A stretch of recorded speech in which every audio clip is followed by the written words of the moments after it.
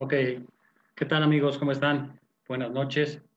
Les habla el coach Armando López, coach de Pumas de Ciudad Universitaria. Es un placer estar con ustedes y poderles ofrecer una presentación acerca de los equipos especiales en los Pumas de la Universidad Nacional Autónoma de México. Eh, soy entrenador de la posición de alas cerradas. Actualmente en este 2020 eh, cambiamos el nombre de la posición y es un jugador que tiene bastante versatilidad, ya que puede jugar como receptor abierto, como ala cerrada o como jugador de poder eh, alineado junto a coreback. El nombre este, de la actual posición es Power Backs y de la cual soy el entrenador asistente. También soy coordinador de equipos especiales a la ofensiva tenemos un coordinador de equipos especiales a la defensiva, pero voy a tratar de, ofrecerles una información general de lo que pasa en nuestro equipo o lo que pasó en nuestro equipo en el 2019. Si me permite, vamos a empezar la presentación.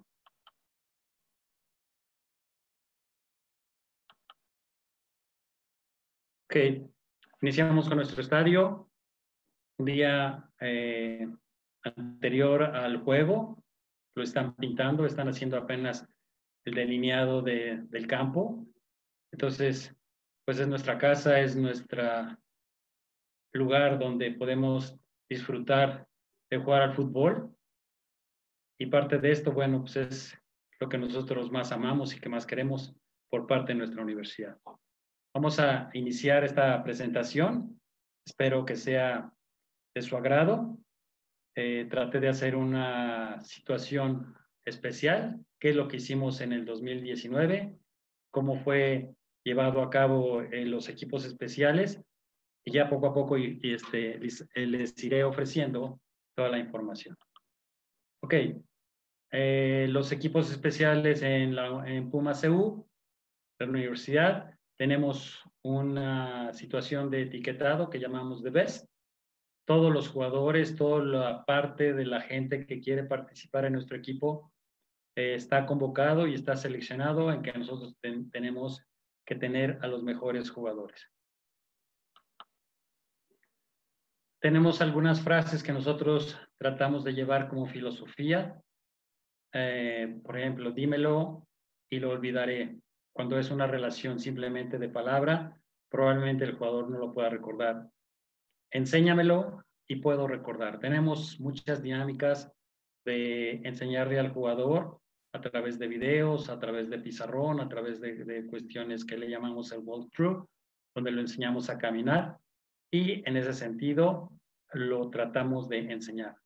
Lo involucramos y aprenderé, dice, dice el jugador. Entonces, en la medida que nosotros hacemos que el jugador se involucre más en la situación de los equipos especiales, él puede ser más, más eh, atento a que pueda aprender lo que nosotros necesitamos de él. ¿Quién dice que el trabajo duro no puede ser divertido? Esta situación de este 2020 ha sido una situación muy compleja, muy difícil de, de desarrollar.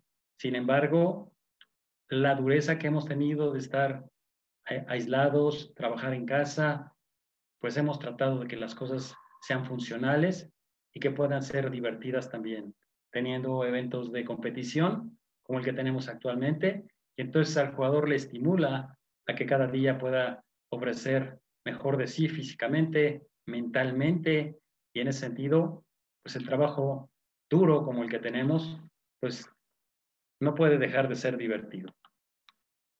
Tenemos unas claves para que nuestra etiqueta sea alcanzada.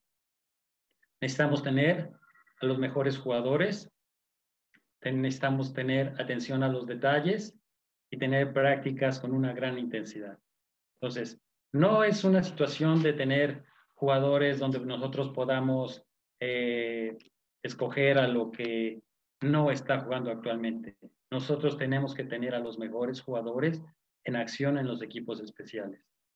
Tenemos que tener mucha atención a los detalles de saber exactamente a través de la estadística, a través de la investigación, cómo es que los contrarios tienen todo su desarrollo de sus equipos especiales.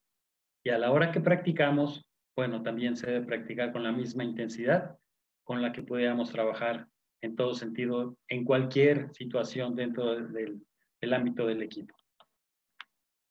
¿Cómo deben ser estos jugadores que participan en los equipos especiales? Los, los jugadores tienen que ser inteligentes, tienen que ser explosivos, tienen que ser dinámicos y con una mentalidad de ataque.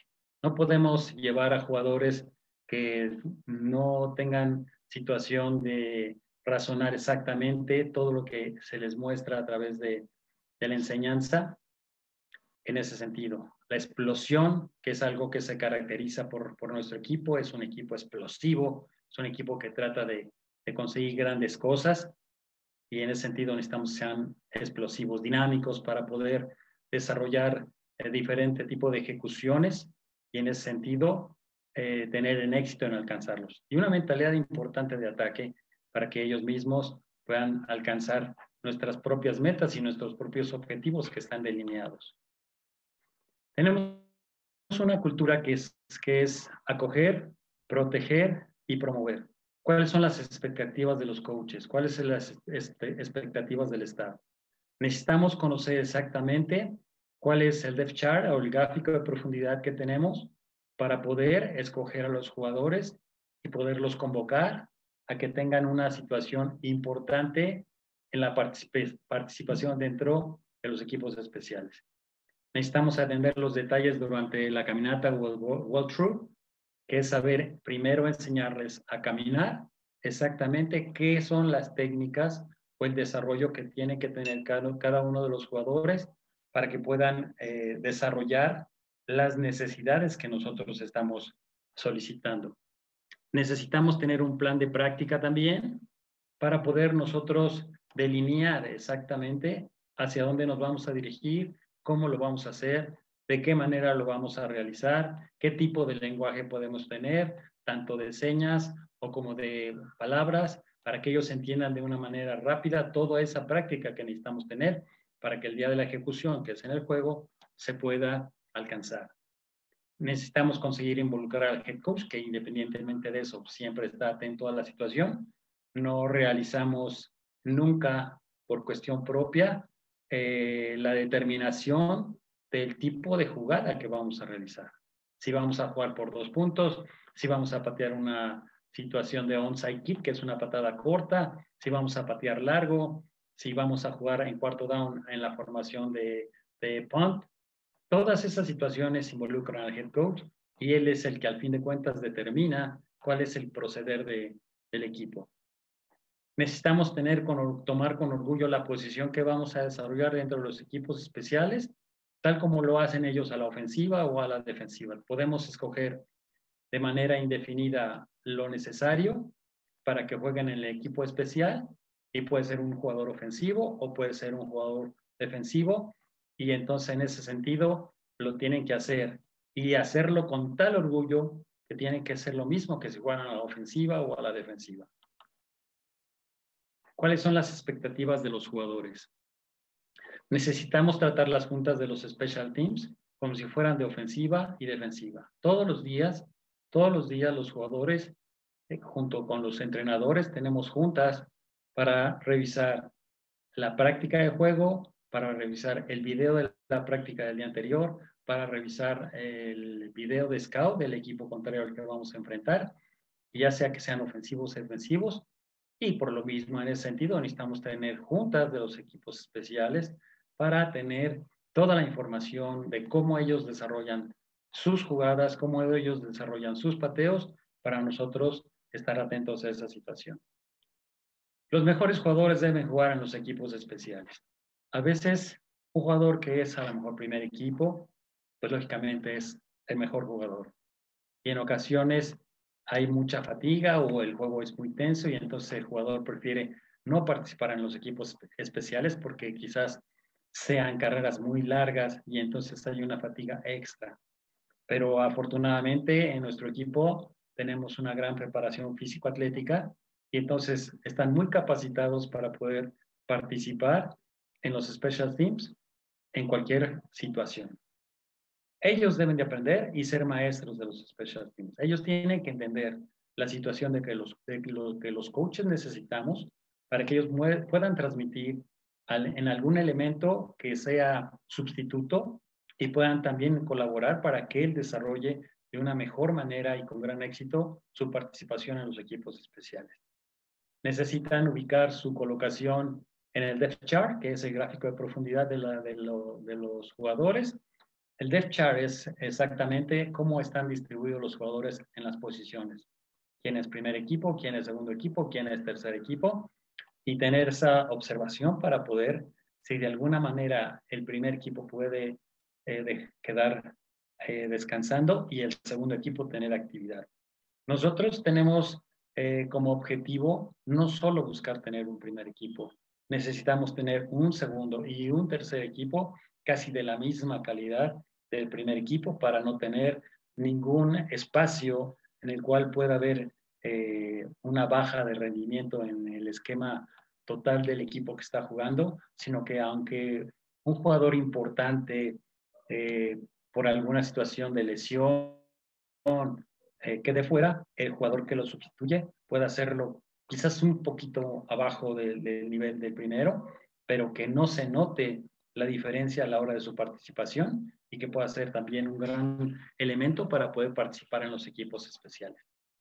No hay pérdidas de tiempo en el campo, necesitamos conocer los drills y las técnicas del walkthrough, que es la caminata. Entonces, toda esa información se da a través de las juntas con los jugadores, se les enseña cómo se va a hacer los drills y se les enseña a través del campo cómo caminando de una, de una manera inicial vamos a poder alcanzar ese éxito en el desarrollo de los drills. Los elementos de éxito en los equipos especiales o en special teams son eliminar errores, trabajar con una gran intensidad, tener unos grandes fundamentos que son los básicos tanto de la ofensiva como la defensiva y dentro de la cual nosotros tenemos que manejar cualquier jugador ambos fundamentos. Los, cualquier jugador tiene que saber taclear, cualquier jugador tiene que saber bloquear. Eso es parte de los fundamentos. Y no va implícito de que se juega a la ofensiva o a la defensiva, sino que cualquiera de las dos situaciones debe estar preparado y listo para tener un gran éxito en el fundamento y por consecuencia en el trabajo del special team en el que va a participar. Tener una buena actitud y no sentirse relegado en participar en el equipo especial, porque no es un lugar para de, de separación, no es un lugar de castigo. Al contrario, tiene que tener una gran actitud y llevar a cabo con su manera de comportarse que los equipos especiales son muy importantes para el juego. Y tener una gran práctica, una gran práctica que inicia desde antes de, del calentamiento del equipo. Hay una eh, sesión de prepráctica y entonces en ese sentido, a la hora de la práctica, pues esas cosas que practicamos antes del entrenamiento ponerlas en práctica y hacerlas de la mejor posible. Necesitamos tener consideraciones, por ejemplo, en este caso que yo soy el encargado del el regreso de kickoff, todo esto que nosotros tenemos que analizar durante la temporada. ¿Jugaremos en pasto sintético o jugaremos en pasto natural esta siguiente semana? Necesitamos saber qué tipo de pasto tenemos, porque no le pega el, el jugador en el mismo sentido el pateador, si hay pasto natural, donde puede tener hendiduras o puede tener eh, hoyos o hay que recorrer la pelota porque donde está la distancia que le va a pegar no está pareja. En cambio, en el pasto sintético, sintético es diferente, es un pasto que está de una manera plana y entonces en ese sentido es una situación que nosotros tenemos que analizar. ¿Qué tipo de devolución debemos utilizar para el kickoff return? O sea, ¿cómo es que el equipo contrario hace su cobertura a la hora de patear? Si es que saca la pelota del campo, si es que la deja dentro del campo para, para hacer la devolución y entonces saber cómo coincide con nuestro regreso a su cobertura, si tiene cruces, si cubren rectos, si hay jugadores más rápidos. Eh, en ese sentido, pues, todo eso es un proceso de estudio y de investigación que se realizan los coaches para que a la hora que los jugadores se acercan con nosotros, a través de un video y a través de una situación escrita, se les puede ofrecer toda esa información. ¿Qué equipo de, qué equipo de formaciones de patada inicial tiene el equipo contrario? O sea, ¿cómo patean? Si juegan 4-6, si juegan 5-5, y en base a eso, nosotros saber exactamente qué tipo de formaciones tienes, cuáles son las fortalezas de esas formaciones y cuáles son sus debilidades. Lógicamente, a través de muchas repeticiones, de estar revisando el video una, otra vez, muchas veces una jugada, a lo mejor jugador por jugador, estar viendo cómo cubren y entonces todo eso es parte de la investigación. Favorece empatear la pelota de una forma o de otra. Entonces, en ese sentido, sí es importante considerar de qué forma, de qué forma ellos llevan a cabo el patear su pelota se agrupan en el campo, quiere decir que si están juntos o ya entran separados desde la banca, todo eso es parte del análisis que nosotros necesitamos saber. ¿Alguna vez patearon rápido desde ese grupo de estar agrupados? Hay equipos que se agrupan para patear y hacen algunas eh, dinámicas de, de, propias de cada equipo y entonces están juntos a la hora de, antes de iniciar el pateo. Cuando el pateador rompe la formación, entonces se distribuyen a lo ancho del campo para tomar su lugar e iniciar el kickoff. Y entonces todo eso necesitamos nosotros estar atentos, revisando todo lo, pues, dentro de todo lo posible eh, la filosofía que tiene el equipo contrario para saber si alguna vez desde esa agrupación eh, patearon rápido. Lógicamente tienen que patear bajo la norma de algunas reglas, que es no estar más de cinco yardas alejados de la pelota y tener cuatro jugadores hacia un lado de la misma pelota. Eh, como número 5 es donde les gusta patear. El pateador es, es este, derecho, es izquierdo, se coloca la pelota del lado derecho, se coloca del lado izquierdo, siempre la patea en el mismo lugar, igual exactamente, todo eso es un análisis que tenemos.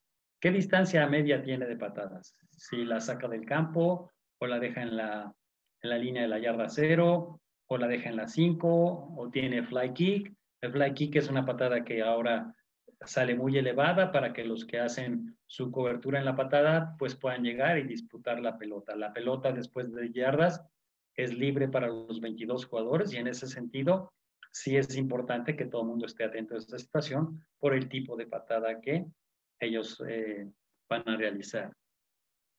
Eh, ¿Qué yarda de línea para los que regresan? O sea, ¿dónde, ¿dónde vamos a colocar nosotros a nuestros fielders para saber si vamos a atacar la pelota o la vamos a dejar que entre al enzón y se tome la pelota de touchback y vaya la pelota a la yarda 25, ya que el oficial en referee marcará que es, se acaba la jugada y la pelota iniciará o la ofensiva iniciará con la pelota en la yarda 25. Necesitamos crear un gráfico de tierra, que es donde aterrizan las, las bolas. Algo que se llama este landing, donde no sé cuántas eh, patadas eh, nosotros analizar, pero por darles un ligero ejemplo, ya cuando llegamos a los juegos de postemporada, tuvimos un recorrido de siete juegos, los cuales todos los tenemos en nuestro almacenamiento para poder revisarlos y entonces, bueno, tenemos la oportunidad de revisar todos los equipos especiales y al pateador de kickoff revisar dónde, dónde le pega y dónde aterriza la pelota, y ponerle una marca y hacer toda una gráfica para saber exactamente cuál es la tendencia que tiene el pateador y dónde va a colocar la pelota. ¿En qué área deben de alinearse los que regresan? Si solamente vamos a regresar con uno o solamente vamos a regresar con dos. Entonces, toda esa situación necesitamos estar atentos para el regreso de Kiko. ¿Qué número es su pateador habitualmente? ¿Qué número es el pateador? Igual, tenemos toda esa situación de análisis, si es pie izquierdo o es pie derecho. Eh, hay un pateador de respaldo, qué número es, por si el, titular se llega a lesionar, este, ya sabemos quién es el que sigue. Le gusta patear la pelota rodada. Eh, si es así, qué distancia media tiene. ¿Cómo es su patada lateral, el que llamamos el onside kick? ¿Prefieren una patada lateral en una dirección o traen a otro jugador para patear de lado? Eh, la semana, hace dos dos semanas en la NFL, en el juego de los eh, vaqueros, su, no, los vaqueros, no, no me acuerdo exactamente para qué les digo una mentira, pero una patada que, que empezó a rodar, empezó a rodar y nadie la, nadie la tomaba, ni los del equipo que regresaban, ni los que cubrían la patada, en el momento que rebasó las 10 yardas y que fue eh, permitida para los 22, el equipo que pateó tomó, tomó la pelota y salió adelante en el juego. Entonces, es importante todo ese tipo de análisis que hubo ayer eh, en el juego, creo que hubo otra patada corta y no alcanzó a cruzar las 10 yardas. Y no es fácil, no es fácil, es complicado. Ahorita vamos a ver una situación del onside kick. ¿Quién es el jugador que tiene más tacleadas en el, en el inicio de en la patada inicial? ¿Qué jugador es el que más patea? ¿Dónde se alinea? Si coloca del lado derecho, se coloca del lado izquierdo, si cambia de lugar, se alinea en el mismo lugar todo el tiempo. Toda esa situación nosotros necesitamos estar teniendo un análisis. ¿Quién es el miembro más débil del equipo de la patada inicial? Lógicamente, actualmente los equipos ponen jugadores muy rápidos, muy rápidos y no pesados para hacer la cobertura de la patada de kickoff inicial. Entonces, sí es importante igual revisar jugador por jugador, eh, jugada por jugada, para saber quién es el jugador que no tiene el potencial dentro de ese grupo de trabajo. ¿Cuál es la ruta de contención de sus jugadores? ¿Cómo es que ellos hacen sus coberturas? Eh, ¿Cruzan sus carriles o van directamente? Todo la situación tiene un análisis en ese sentido. Llegamos al día del juego, consideraciones de día de juego. Eh, ¿En qué condiciones está el campo? Normalmente nosotros vamos en otoño y si se dan cuenta del periodo actualmente, pues hay mucha lluvia. Entonces, normalmente, si nos toca jugar eh, en Ciudad Universitaria a las 9 de la mañana, podemos decir que es un, es un campo seco, pero sin embargo el rocío, el rocío de, la madrugada, pues escarcha el pasto y entonces se moja la pelota. Y no se, no se puede patear de la misma manera una pelota seca a una pelota mojada. Aumenta su densidad con respecto a que se empieza a filtrar el agua al balón y entonces tenemos que estar cuidando ese tipo. Si jugamos en la tarde, eh, puede ser que juguemos eh, mojados, si jugamos en pasto sintético. Si jugamos en un pasto natural y hay lluvia, probablemente pueda haber lodo. Y entonces tenemos que considerar las, las, las situaciones del día de juego, toda esa parte importante para tener un mejor desarrollo. Hay viento, hay, por ejemplo, en la Universidad Autónoma de Chihuahua, el viento es muy fuerte. Es, es un campo eh, que tiene mucha apertura y entonces eh, el viento puede ser parte del éxito en un gol de campo o en una patada de despeje o en un kickoff. Si está detrás de nosotros, si viene hacia nosotros el viento o está cruzando el viento. Entonces, todas esas situaciones las tenemos que considerar. Considerar la altura de la ciudad donde se realiza el juego. No es lo mismo, por ejemplo, jugar en Cancún que jugar en eh, Monterrey o en Chihuahua o aquí mismo en la Ciudad de México. El, ¿Cuál es la humedad del aire?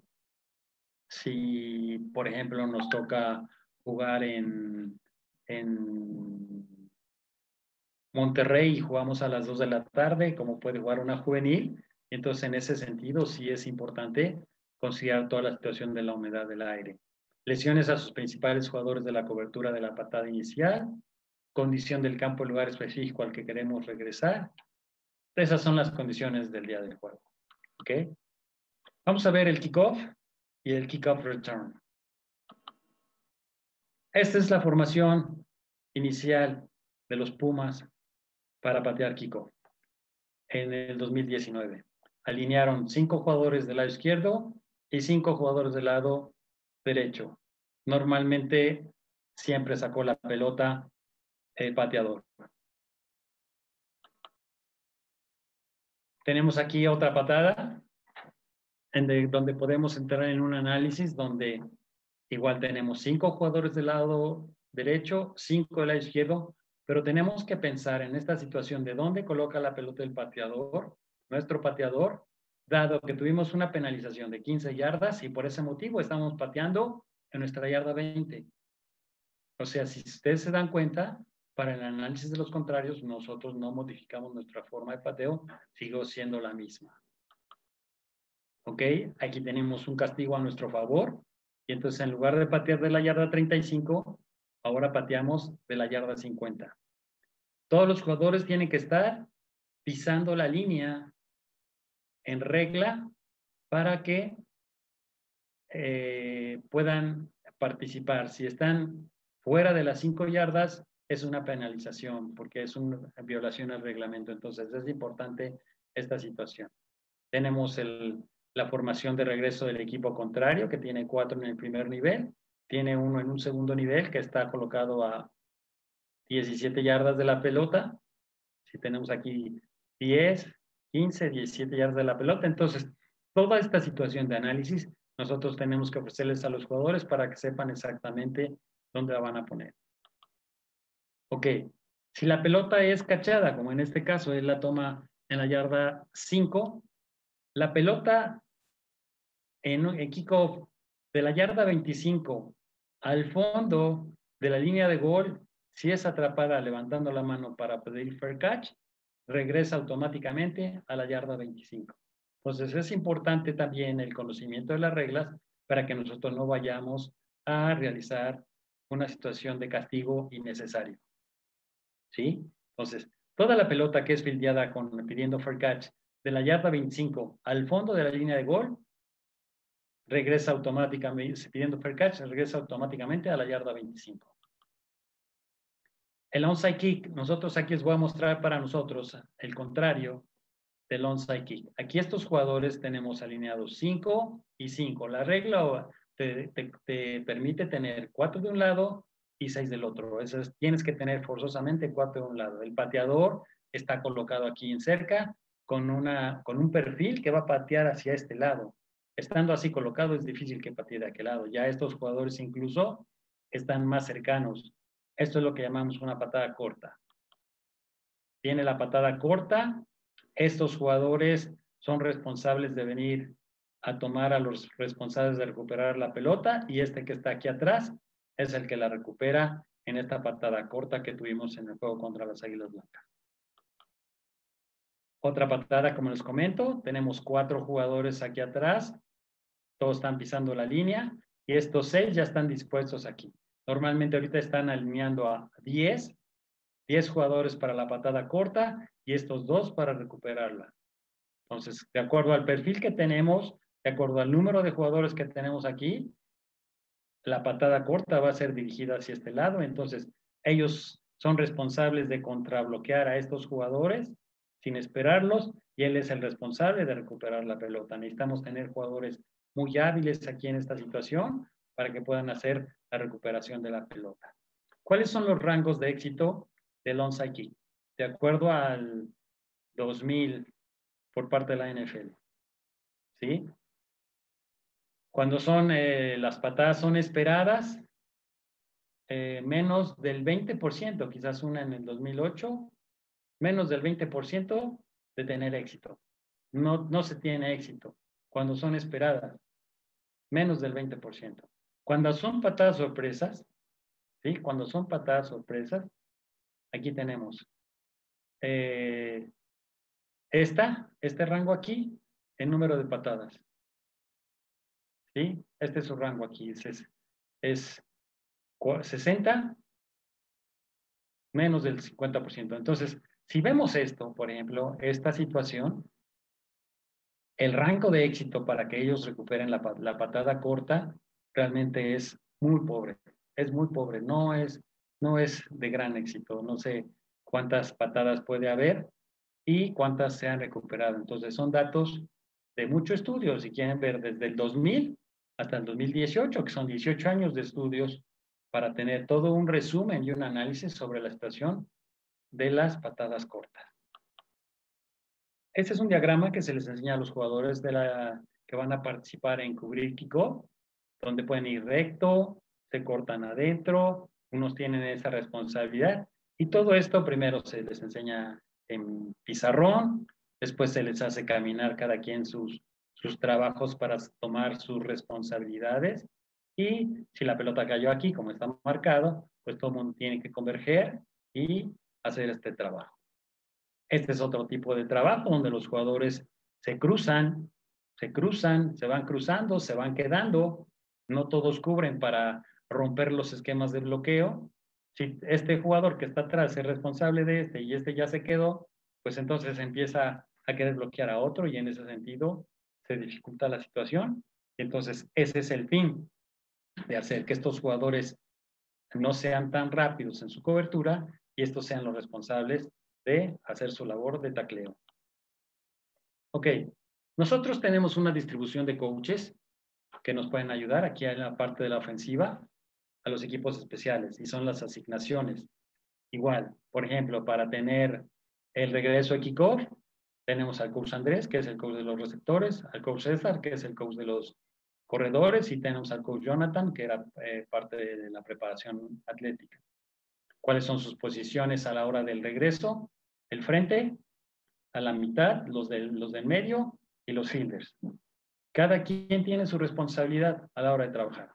Cuando llamamos a regreso de kickoff, estos tres coaches participan junto conmigo, escuchan la indicación eh, de qué lado va a ser y cada quien se responsabiliza tanto en el juego como en las prácticas del trabajo de cada uno de este grupo de jugadores.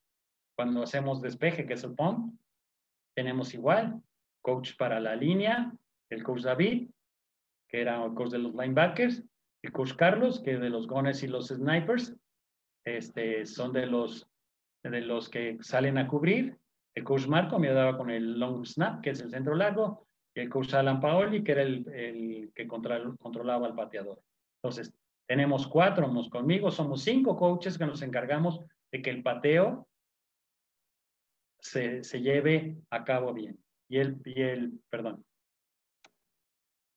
y el punto extra o el gol de campo, tenemos igual, con el centro largo, con el frente, con los wings, con el detenedor y con el pateador.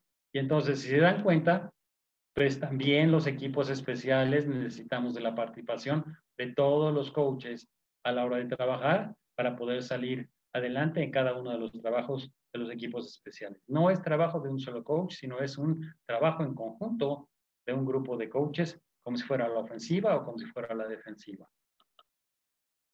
Este es nuestro regreso de kickoff. Tenemos cinco en el primer nivel, que es el front. Tenemos los del medio, como lo, como lo mencionamos, y tenemos los fielders allá atrás. Ya sabemos exactamente dónde está colocando la pelota, dónde la va, dónde la va a poner, si el pateador la saca del campo, si el pateador la pone en la yarda cero, si el pateador la pone en la yarda 5, si la pone del lado derecho, si la pone del lado izquierdo. Toda esa información la tenemos contemplada. Hacemos lo que llamamos el walkthrough, que es el caminar, y entonces nosotros nombramos a los jugadores. Del lado derecho, R1, R2, R3, R4, R5, L1, L2, L3, L4, L5, y empezamos a hacer trabajos como este tipo, donde hay coberturas, donde hacemos doble, doble equipo, donde hacemos un trabajo especial como este, o si este viene y hace un trabajo diferente como este, pero esto, todo esto lo hacemos trabajando, caminando primero. El coach, el responsable de la parte frontal, tiene que hacer este trabajo con sus jugadores.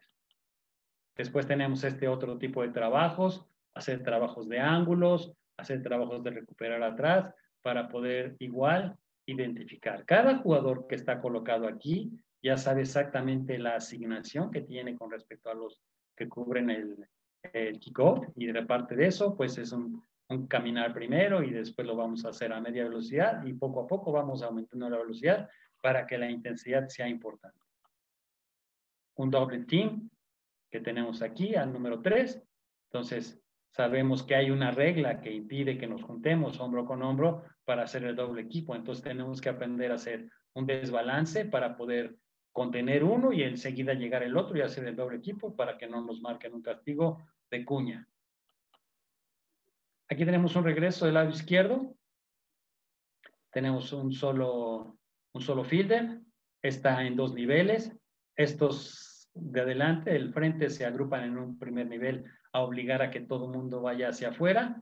Estos en un segundo nivel, los que se alcanzaron a ir por fuera, son responsables de, un segunda, de una segunda pared y aquí arrancamos con el fildeo de este jugador, que supuestamente es el que está aquí. ¿Sí? Tenemos otro regreso que le llamamos 23 LED, donde estamos bloqueando al 2 y al 3, 2 y 3 en dobles equipos. 2 al 2, 2 al 3, y aquí está nuestro regreso, 23 LED, que es parte de un diagrama, repito, donde primero les, les mostramos eh, la responsabilidad, les, les, mostramos la asignación y partimos a hacer su trabajo. Ok, vamos a ver el punt y el punt return. Ok, nosotros pateamos en doble gemelo, doble gemelo. Tenemos dos de este lado, dos de este lado. En los extremos les llamamos gunners y los internos les llamamos snipers. ¿Sí? Entonces, tenemos un fullback. Este pateador es zurdo. Hacemos que todo el mundo la línea bloquee hacia el lado izquierdo y este bloquee al lado, al lado derecho y este bloquea al lado izquierdo del lado del pateador. Tenemos en el análisis que tenemos dos y dos son cuatro, dos linebackers, tenemos seis y tenemos cuatro en la línea. Tenemos diez. Nos está regresando uno solo. Entonces, estos cuatro jugadores tienen que ser muy agresivos, muy rápidos, con gran tacleo y con gran eh, seguridad en la determinación para llegar hasta allá. Estos que tienen enfrente pues, son responsables de que estos no lleguen. Entonces, los están esperando aquí atrás para poderlos bloquear y que no hagan la patada. Vimos que ya aquí en esta situación un linebacker ya está cargando. Nosotros somos responsables del hueco interno, el hueco interno en esta formación y en ese sentido eh, eh, lo podemos resolver bien. Estamos teniendo seis contra seis y se está quedando uno. En este caso tenemos seis contra cinco que lo podemos resolver bien. Igual, están alineados cinco Aquí está el, centro colocado en la línea punteada, el pateador igual. Nuestro fullback ya está colocado derecho por alguna indicación y entonces esperemos alguna maniobra de este lado. Lo mismo, lo mismo, estamos esperando una situación de este tipo. Dentro de esto mismo, podemos tener trucos, podemos tener carreras, podemos tener pases, y les repito, como lo mencioné hace un instante, todo va en función de que el head coach determine si vamos a hacer jugada o vamos a quedarnos así. Ok, cuando hacemos eh, patada de escudo, estas son nuestras alineaciones. Estas son nuestras alineaciones. Estas son nuestras informaciones que tenemos. Normalmente pateamos en escudo. Estos dos jugadores de aquí, estos que están aquí, vienen y se bajan para patear en doble gemelo. Y entonces estos dos se abren, estos dos se abren y estos entonces nos colocamos con seis aquí en la caja, con gunners y snipers listos afuera para hacer la cobertura. Eso es lo que primero les indicamos a los jugadores, lo que les primero les enseñamos. ¿Dónde están colocados? ¿Cuál es su alineación? ¿Cuál es su responsabilidad? ¿A dónde tienen que ir después de escuchar la patada? En, en fin, todo esto. Eh, les mostramos también cuántos jugadores nos pueden precipitar. Aquí nos, están rusheando tres. Tenemos tres en rush. Tenemos cuatro en rush. Tenemos cinco en rush. Y podemos tener hasta seis en rush. Ellos tienen que saber exactamente quiénes son los jugadores que tienen que resolver. ¿Quiénes son su asignación de bloqueo? Ellos no son responsables de bloquear a los seis, no pueden bloquear a los seis. Entonces, ellos dentro de seis que les aparezcan en, Rush, tienen que saber que yo voy a este, yo voy a este, yo voy a este, este no lo bloqueo, este no lo bloqueo. Los que están acá atrás en el escudo son los responsables de, proteger esa situación, no pasa nada. Eso igual lo tenemos que manejar nosotros desde juntas eh, de pizarrón y de video. Esta es una manera de hacer la cobertura en el shield, bloquean cada quien a lo suyo, salimos rectos, los fullbacks salen afuera, el fullback sale recto y este probablemente se queda flotando y empieza a identificar qué lado viene el regreso. Al revés, el punt return. Nuestro equipo regresa así de esta manera. Encontramos una formación en este sentido donde tenemos dos jugadores atrás, ¿sí? Y fullback. No rompen la regla porque tienen uno, dos, tres y cuatro. Están alineados siete, entonces los demás están dentro de la regla. No hay ningún problema. Nuestro equipo eh, ataca el despeje, el punt, todos de pie, si lo ven. Tenemos dos que son los especialistas en hacer la contención y estos son los especialistas en contener. Les voy a mostrar otra formación. Ok, aquí en esta misma formación, acá abajo tenemos dos y acá tenemos dos. Entonces ellos están atrás dos, tres, cuatro, cumplen con la regla. Aquí la diferencia, están haciendo que este jugador, este jugador, este, es elegible a pase. Nos están dejando correr, nos están dejando correr, para que en un momento dado que no pongamos atención en este jugador, pueda salir a, pase, le tiren la pelota y es un jugador elegible a pase. Este no. Si fuera jugada de pase, se tendría que quedar aquí en su lugar, porque si saliera y tiran la pelota, es un hombre inelegible. Esta es otra formación de despeje. Igual estamos conteniendo. Vean todo el grupo de jugadores de Pumas. Acá está el otro.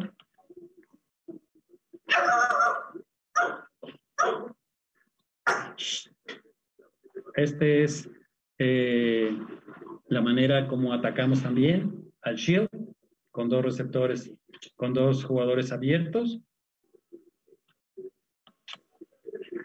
Se les da la instrucción de cómo, cómo poder eh, atacar esa formación cómo le podemos hacer, si hay maniobras o no, eh, aquí abajo si hay maniobra o no, en ese sentido lo, estamos haciendo. Eh, el punto extra el gol de campo. Esto es lo que nosotros estamos viendo y que tenemos que informar dónde están cargando para que nosotros poder contener bien. Igual, si se dan cuenta, aquí la fuerza del ataque se está dando del lado izquierdo. Todos los demás están atrás, entonces no va a ser tan fuerte la carga. Aquí si lo vemos, estamos analizando que toda la carga está viniendo aquí en esta parte. Pero la patada va muy alta, no hay ningún problema, podemos contener bien. La, carga está aquí, miren, estos dos jugadores no tienen a nadie y estos ya están aquí apoyados en esta carga. Nuestro ataque es igual que el, que el regreso, están casi todos de pie y de ahí queremos entrar a atacar. Vean, todos nuestros jugadores están casi de pie. Tenemos uno agachado aquí. Igual. Esta es una hoja de información que se les ofrece a los, a los jugadores para que ellos este, estén enterados que les toca participar en los equipos especiales. Se pone fuera del vestidor para que los jugadores, cuando entren o salgan eh, el día del juego, sepan cómo es, dónde están considerados, si les toca participar o no, se les ofrece esa información. Este es el, el punch shield, el depth charge. Este es el kickoff return, igual, se nombra a todos los jugadores, hay un listado. Este es el punto extra o gol de campo. Igual, no hay ninguna duda, todo mundo tiene esa información precisamente para que no haya ningún castigo.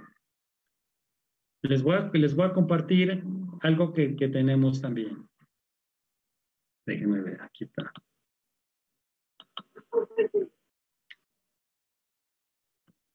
Nosotros tenemos la información, o yo tengo la información de todos nuestros juegos por ejemplo, el despeje contra Águilas Blancas, este, ¿cuántas yardas nos regresaron? Por ejemplo, nos regresaron 1.16 yardas en el juego. Contra los Linces Lomas Verdes, 2.75. Contra Águilas de Chihuahua, 7.5. Contra los Leones de la Nahua, 1.67. Contra Burros Blancos, 0. Pateamos dos veces. Contra Nuevo León, Pateamos nueve veces, pero no nos regresaron nunca nada. Siempre o pedían fair catch o los tacleábamos. Contra los Potros de la UAM, 1.33. Y en la semifinal, cero. Pero desafortunadamente tuvimos una mala jugada que fue bloqueada para seis puntos en contra. Entonces, todas estas situaciones es importante que nosotros las manejemos. Eh, nosotros tenemos eh, de 65 a 90 jugadas por juego a la ofensiva. Puede variar 65, 70, 75, 80, 85, 90. 90 puede ser un gran juego para nosotros que tuvimos muchas jugadas a la ofensiva. La, mediana aritmética puede ser de 77 jugadas. Si lo hacemos por 8 juegos, son 616 jugadas por temporada. Si nosotros tenemos 97, de acuerdo a los datos que le estoy manejando aquí que tuvimos, representa el 17.70 de jugadas de equipos especiales, de un 100%. Pero son tan importantes o son tan determinantes las jugadas de los equipos especiales que pueden girar un juego en un sentido contrario. Si nos, son jugadas de alta explosividad, donde si hay un regreso de kickoff, es terrible. Donde si bloqueamos un gol de campo a la defensa, puede ser muy importante. Si tiramos un gol de campo de 55 yardas y lo metemos, eh, normalmente matamos al equipo. Si a la hora que eh, pateamos corto y la recuperamos, pues es de alto impacto. Entonces, son poquitas jugadas, 13.70 de las jugadas totales del juego, pero son de muy alto impacto a la hora que nosotros este, las llevamos a cabo y las sacamos adelante.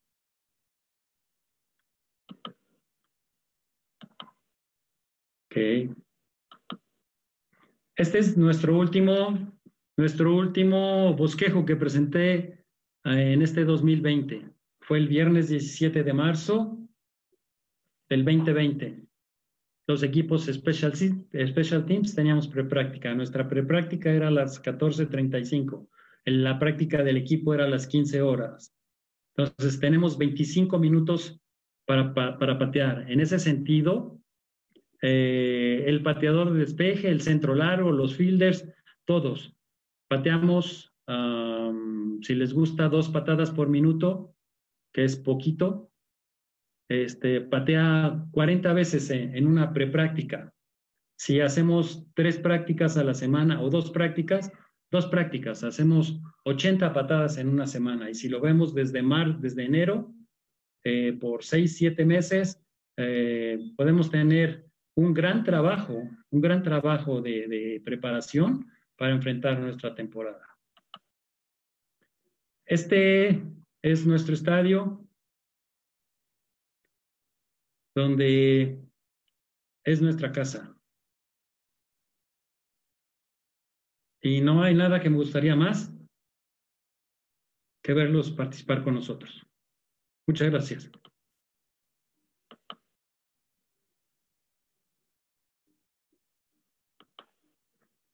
Pues es todo. Muy amables.